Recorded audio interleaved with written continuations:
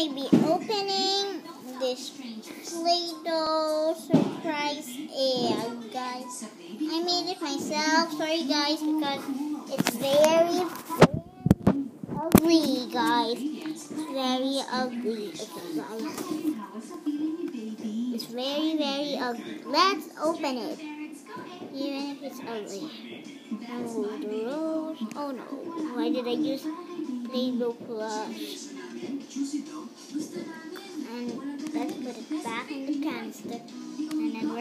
Open it. Oh, oh, it's a little cute Jollibee.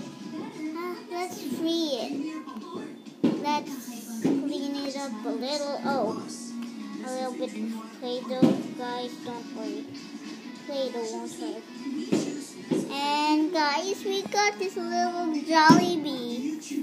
Guys, we got this little Jollibee. Jollibee's bigger. It's so jolly. And if you don't know who Jollibee is, he's the one who's in the Jollibee show. Guys, and the restaurant. I don't know if you know him very much. You just usually do McDonald's or something, guys. Well, see you guys. See you next episode.